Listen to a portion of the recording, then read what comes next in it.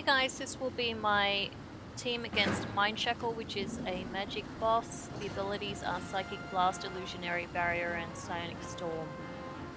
So, first off, you're going to hit Breath.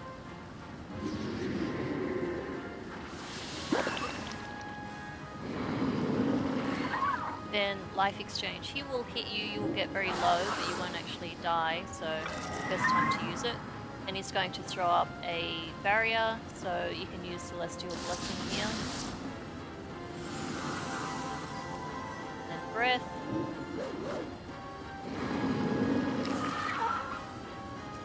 Keep hitting breath.